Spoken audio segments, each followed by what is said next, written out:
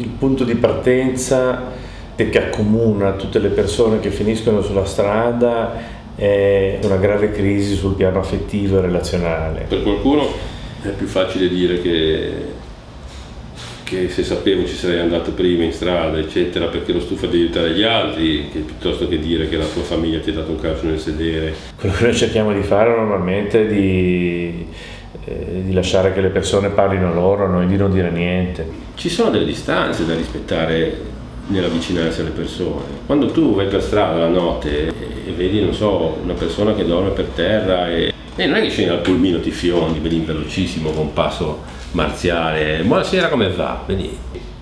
Qualche volta si incontrano persone che hanno una tale foga, una tale desiderio di aiutare, ma non si rendono conto del malessere delle persone. Cioè, spesso le persone che, che, sono per strada sono persone che hanno dei problemi che non immaginiamo che abbiano, per esempio di salute mentale. Fare un intervento a sproposito a volte può essere, può essere dannoso. No?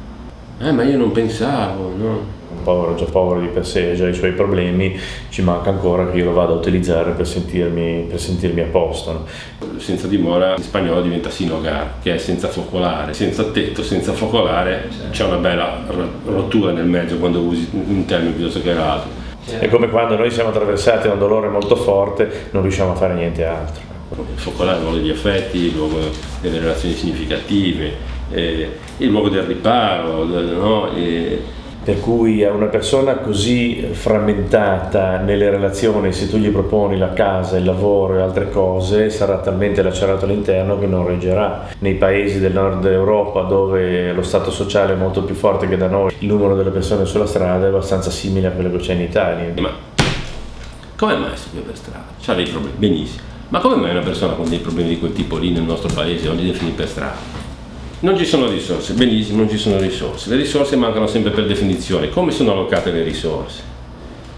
Che tipo di privilegi che, che ci troviamo a dar per scontato di dover mantenere drenano risorse che potrebbero essere utilizzate per quella roba lì. Le persone che stanno male, i poveri, sono un richiamo per tutti e devono essere visibili perché la vista della loro sofferenza ci deve coinvolgere, ci deve aiutarci a porre delle domande e di andare nella direzione di una restituzione di responsabilità a tutte le parti in causa. Quindi una delle parti in causa è certamente la persona che si trova in quella condizione, ma poi ci sono tutti gli altri.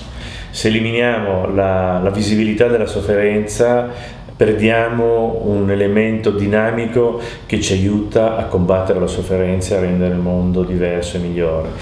Cioè, è una riflessione che ti ritorna un po' addosso, che è scomoda perché ti chiama in causa e non sto parlando di sensi di colpa, il senso di colpa è nemico del senso di responsabilità, bisognerebbe riuscire a bandirlo. Il lavoro più grosso è quello di aiutare le persone a fidarsi dell'altro e quando questo avviene comincia una relazione, comincia una relazione con noi e ciascuno la vive con le sue capacità e con le sue potenzialità, i suoi limiti le sue fatiche. Io non voglio dare per 30 anni compagnia alla stessa persona, cioè io voglio che quella persona lì abbia la possibilità per il tempo che ci vorrà con lui abbia la possibilità, non la certezza di poter non dover più nella condizione di, di ricevere un panino tutte le sere per mangiare. Noi forniamo degli strumenti per aiutare la persona a vivere sperimentando, a comprendere nel, in quello che sperimenta le proprie capacità, a giocarsele e essere contento di quello, che, di quello che ha e giocarselo bene e rendere al massimo, dalla comprensione di sé alla progettazione, all'azione.